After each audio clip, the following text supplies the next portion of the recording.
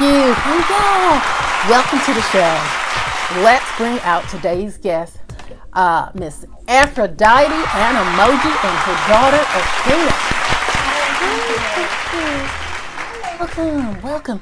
Uh, boy, Athena, you look great We're just having a baby. Look at you. Um, thanks. Yeah, still working out. And you over there, Miss Grandma, or, or what are they calling you?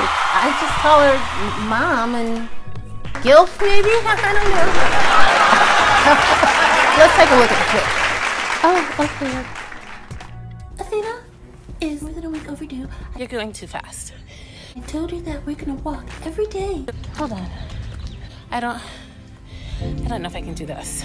until this baby comes. Oh, it took uh, three days for you to walk for you to have that baby, huh? Yeah.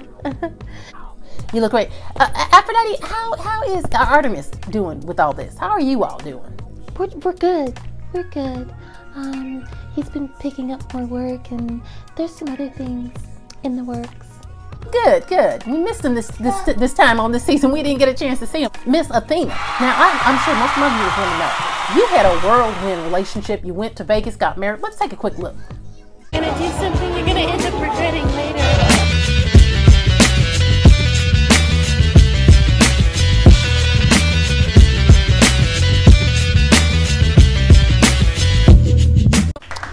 Are are you still married?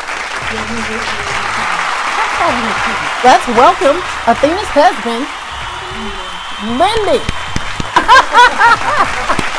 Hi. Hi, look at you. Oh, you are just cute as fun. You all happy? I got a family and Oh, that um, is good. Oh, that yeah, and, and, and Yes, yes. Do you want more kids? oh, I would love to have more kids. Now for a while. I mean, we're we're still. What's your daughter's name? Apollo. Beautiful, Apollo. Oh, real quick. So everything happened really fast. So we're still trying to enjoy just us. And now with the with Apollo, we're we're trying to incorporate that into it. But yeah, one day. well, that'll do it for us, y'all. Thank you so much for joining us. See you next week. Thank you.